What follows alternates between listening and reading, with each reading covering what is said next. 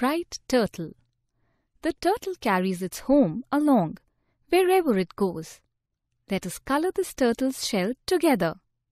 You will need poster paints, crayons, square sponge.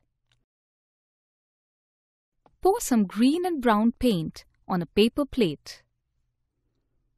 First, dip the sponge in green paint. Gently dab the sponge on the shell of the turtle to make prints as shown.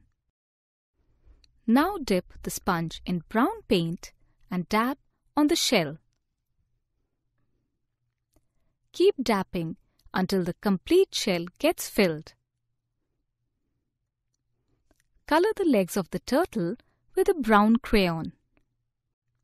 Color the face of the turtle with a green crayon. The bright turtle is ready.